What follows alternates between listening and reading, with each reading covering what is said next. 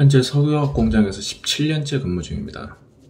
최근 회사에 신입사원이 입사를 했는데 보통 자격증 서너 개쯤은 기본적으로 가지고 입사를 하더라고요. 그 사람들을 지도해야 되는 입장에서 자격증이 하나도 없다는 것에 뭐 창피함을 조금 느꼈고 그래서 취득할 수 있는 최상위 자격증을 알아보던 중에 위험물 기능장을 알게 됐습니다. 그래서 배우락을 통해서 67회 기능장을 취득을 했고요. 그리고 연이어서 69회 가스 기능장까지 취득하게 되었습니다. 공부 기간은 필기 실기 합쳐서 4달 정도 걸렸는데 필기를 3달 정도 공부를 했고 실기는 그렇게 길지는 못했습니다. 가스 기능장의 시험 범위는 없다고 해도 될 정도로 광범위했습니다.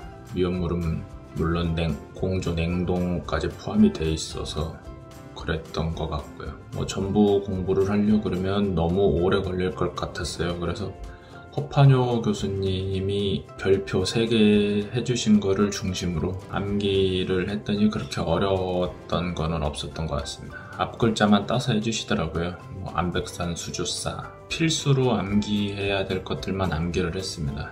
암기 한 개당 한 문제 정도라고 생각을 하고 암기를 했던 것 같네요.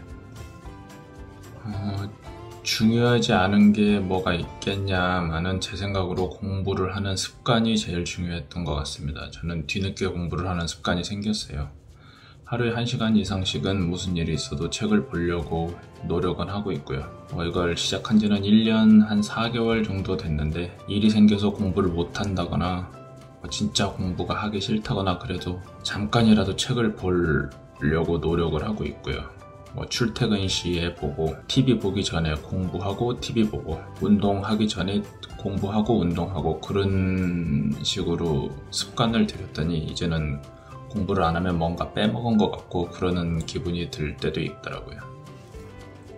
공부 방법은 본인한테 맞는 공부 방법을 찾는 것이 제일 중요하다고 생각을 합니다. 예를 들어서 1과부터 정독으로 정확하게 모든 것을 다 파악을 하고 그리고 2과 3과 넘어가는 공부 방법이 있는 반면에 1과부터 끝까지 한 번 쑥 훑어보듯이 본 후에 내가 이해를 못하는 부분을 집중적으로 공부하는 그런 방법이 있었어요. 저는 학교 다닐 때는 1과부터 정독을 하는 방법으로 공부를 했었는데 그렇게 하다 보니까 뭐 도중에 포기하는 경우도 생기고 그렇더라고요. 그래서 처음부터 끝까지 한번 다 훑어보고 저한테 부족한 게 뭔지를 알고 그 부족한 부분에 대해서 공부를 했던 게 조금 더 효율적이었던 것 같습니다. 직장인이다 보니까 따로 시간을 내서 학원 다닐 기회가 없었어요. 뭐 시간적으로도 그렇고, 뭐 지역상으로도 그렇고, 인근에 학원 자체도 없었고요. 인강을 선택했던 이유도 뭐 학원이 없어서 인강을 선택을 했었는데 그리고 뭐 인강을 들으니까 공간이나 뭐 시간적인 구애를 따로 받지 않는다는 것이 가장 큰 메리트였던 것 같네요. 뭐 차량 안에서 뭐 볼 수도 있고 뭐 휴대폰으로 금방금방 볼 수 있으니까 그게 제일 큰 메리트였던 것 같습니다.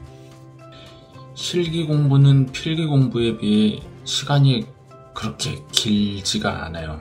보통 필기 합격하고 한 달 정도 있다가 실기 시험을 보는데 한 달 동안 실기 공부를 한다는 게 빠듯하기 때문에 필기 공부, 이론 공부할 때 바짝 해놓으면 실기 공부하는데 도움이 많이 됩니다. 뭐 필기든 실기든 시험날 한 2, 3주 전부터는 기출문제 위주로 정확한 시험 시간에 맞춰서 시험을 봤고요.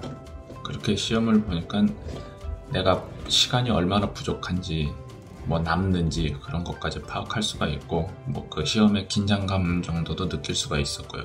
그렇게 파악을 하는 것이 좋았던 것 같습니다. 그리고 자격증이라는 게 100점을 맞으려고 공부하는 게 아니고 60점 이상만 맞으면 된다라는 그런 목표로 포기할 문제는 포기를 했고 맞출 문제는 확실하게 맞추자는 전략으로 그렇게 했던 것이 조금 통했던 게 아닌가 생각을 합니다. 행동하는 사람이 바뀌는 거고요. 아무것도 안 하고 해야지 계획만 하고 뭐 행동으로 옮기지 않으면 변화는 없으니까 하신 만큼 결과는 돌아오는 것 같습니다. 노력하신 만큼 뭐 노력은 배신하지 않는 법이니까 뭐 수험자분들 뭐 전부 화이팅 하시고요. 꼭 합격하시길 빌겠습니다. 감사합니다.